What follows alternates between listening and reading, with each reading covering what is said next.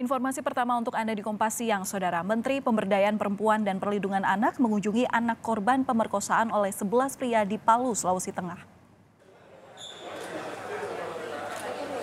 Menteri Pemberdayaan Perempuan dan Perlindungan Anak Bintang Puspayoga telah tiba di Bandara Mutiara Sis Al Jufri, Palu.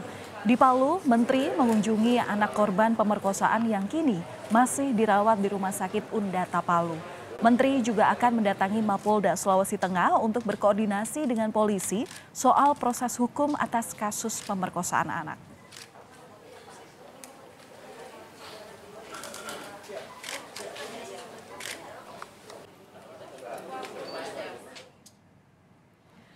Kasus pemerkosaan anak di Palu, Sulawesi Tengah kini ditangani oleh Polda Sulawesi Tengah. Dari 11 pelaku, 10 di antaranya telah ditahan, sementara satu tersangka lagi masih buron. Pelaku di antaranya guru, kepala desa, dan polisi. Hingga kini korban masih dirawat intensif di Rumah Sakit Undata Palu. Lebih lengkap terkait dengan kunjungan Menteri Pemberdayaan Perempuan dan Perlindungan Anak di Palu, kita akan tanyakan langsung kepada jurnalis Kompas TV Nana Rahman di sana. Nana, selamat siang. Apakah Menteri ini sudah dipastikan sudah bertemu dengan korban? Apa saja yang kemudian dilakukan Menteri untuk bisa menuntaskan kasus perkosaan anak ini?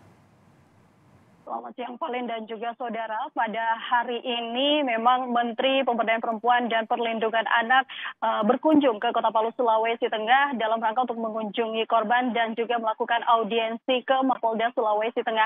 Tiba di Palu, Sulawesi Tengah tadi uh, pada pagi hari tadi langsung menuju ke rumah sakit dan sekitar jam 11 uh, waktu Indonesia Tengah, Menteri uh, juga bersama rombongan ini mengunjungi uh, korban di rumah sakit daerah Undata. Namun sebelum mengunjungi korban, uh, Menteri dan juga rombongan ini uh, terlebih dahulu melakukan audiensi bersama Kapolda Sulawesi Tengah dan setelah itu langsung uh, berkunjung ke rumah sakit untuk bertemu dengan korban.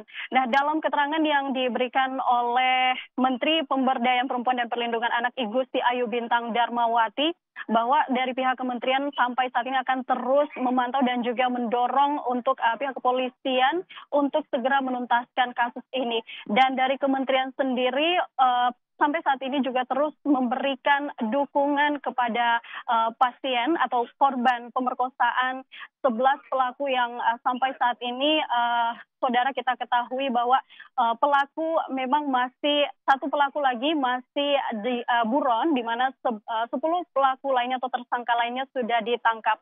Valen. Iya, Nana, ini kan waktu kasus ini terjadi hingga saat ini masih ada satu di antaranya menjadi buron. Ini sudah hampir seminggu begitu. Sudah sejauh mana upaya pengejaran uh, dari polisi? Apa kendalanya yang disampaikan kepada teman-teman wartawan?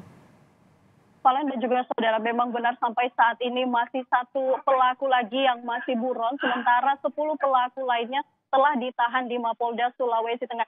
Namun hingga sampai saat ini kami belum eh, mendapatkan keterangan resmi dari pihak kepolisian terkait apa penyebab dari uh, satu pelaku ini belum uh, ditangkap hingga saat ini. Namun dari pihak kepolisian sampai saat ini masih terus melakukan upaya pencarian terhadap buron dan tentu saja diharapkan uh, satu pelaku yang tersisa ini bisa segera ditangkap. Valen.